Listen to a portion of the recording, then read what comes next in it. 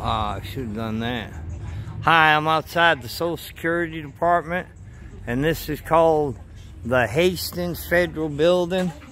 But the Social Security office that I just went into, those people are misinformed and they're into mistreating and cheating people. This Social Security system is destined for failure. And right now they got people in there that do jobs, but job stands for just over broke.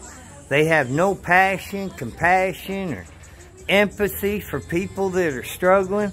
And POOR is an acronym for passed on opportunities repeatedly. And right now, when you deal with this social security system, you're really wasting your time because time is money.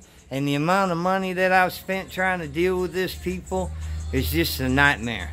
So anyway, God bless everyone every, every day in every possible way.